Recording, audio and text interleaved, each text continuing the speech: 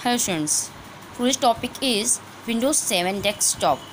When you turn on the computer, जब आप computer को ऑन करते हैं the Windows operating system starts preparing the computer for you to work Windows operating system computer को prepare करना start करता है आपके लिए वर्क करने के लिए.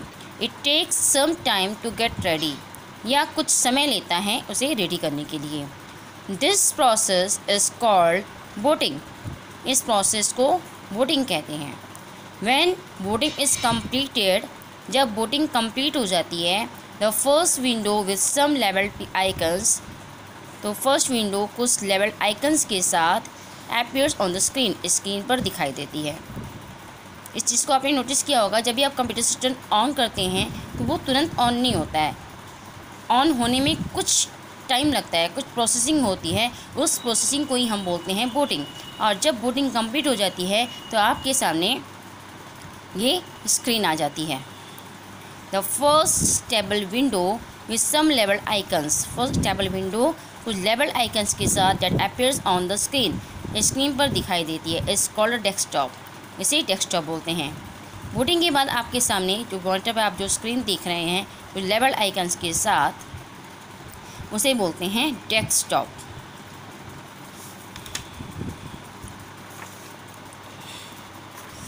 the Windows desktop has several components Windows desktop में बहुत से कंपोनेंट्स होते हैं. लेट्स लर्न अबाउट देम इनके बारे में हम पढ़ेंगे. फ़र्स्ट आइकन्स ये आप देख रहे होंगे विंडो डेस्कटॉप इसमें आप ये स्मॉल पिक्स देख रहे हैं, कुछ लेवल पिक्स हैं, इनको हम आइकन्स बोलते हैं. The desktop has mini small level pictures desktop में बहुत सी स्मॉल लेवल पिक्चर्स होती हैं. दे आर कॉल्ड आइकन्स इन्हें आइकन्स बोलते हैं. Each icon represents a specific program file और फोल्डर प्रत्येक ये जो आइकन्स होते हैं, वो किसी प्रोग्राम को स्पेसिफिक प्रोग्राम को फ़ाइल या फोल्डर को रिप्रेजेंट करते हैं.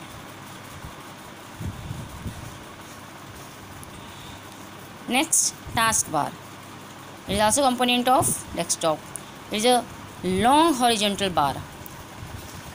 Desktop में ये बॉटम पे आप जो ये रो देख रहे हैं, इसे हम बोलते हैं task bar it is a long horizontal bar at the bottom of desktop desktop के बॉटम पे एक लॉन्ग हॉरिजेंटल बार होता है. It contains the start button the quick launch bar and notification area इसमें क्या क्या होता है? स्टार्ट बटन होता है क्विक लॉन्च बार होता है and notification area when a file और program is open in the screen on at the screen screen पर जब हम कोई प्रोग्राम या कोई फ़ाइल ओपन करते हैं it buttons also appears on the task bar तो उसका बटन जो है, वो आप टास्क बार पे देख सकते हैं, वो टास्क बार पे दिखाई देता है. तो जब भी हम कोई प्रोग्राम ओपन करते हैं तो आपने इस चीज़ को नोटिस किया होगा कि उसका बटन इस टास्क बार पे बन जाता है।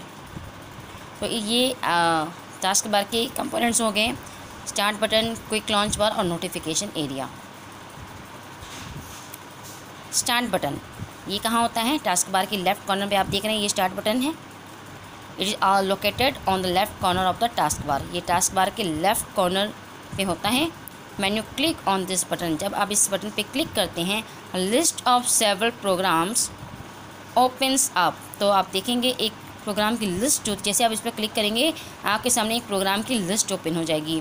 This list is called the start menu इस लिस्ट को हम क्या बोलते हैं? Start menu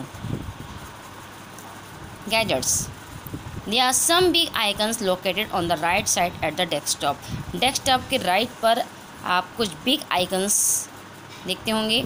they are called gadgets इनको बोलते हैं इन्हें क्या बोला जाता है? गैजेट्स बोला जाता है। These gadgets are specially design program ये स्पेशली डिज़ाइन प्रोग्राम्स होते हैं for specific task such as time calendar weather world news etcetera ये जो गैजेट्स होते हैं, वो कुछ टास्क जैसे कि वॉच टाइमिंग के लिए होता है या कैलेंडर उसके लिए होता है, इस तरीके से। Desktop background also called wallpaper इसे वॉलपेपर भी कहते हैं।